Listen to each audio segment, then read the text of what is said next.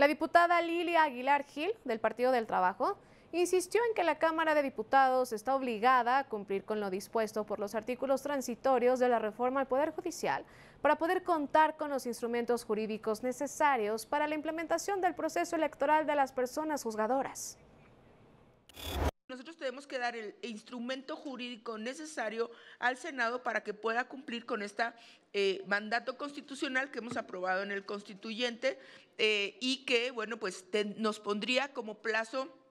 vamos a decir, fatal el día martes eh, para, para poder terminar la discusión. entonces, nada más clarificar que no hemos roto este término constitucional